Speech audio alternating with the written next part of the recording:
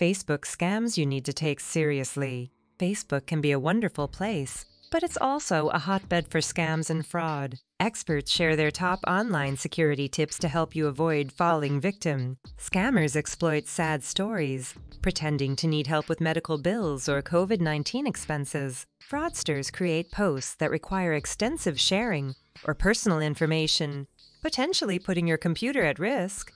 Be cautious of fake giveaways that ask for personal information or credit card numbers. Some quizzes ask for access to your profile or trick you into revealing security question answers. Scammers clone profiles and send links to friends for get rich quick schemes or cute quotes. Hackers impersonate friends or famous people, asking for money or gifts. Beware of messages from friends that ask you to forward them to others. Be skeptical of sites asking for personal information or creating accounts to unlock savings. Scammers use Messenger to send fake offers for money or loans, preying on your generosity. After tragedies, scammers create fake fundraisers to steal your money or personal information. Be cautious of suspicious links that could download malware to your computer. Think twice before accepting friend requests from strangers, as it could lead to a romance scam.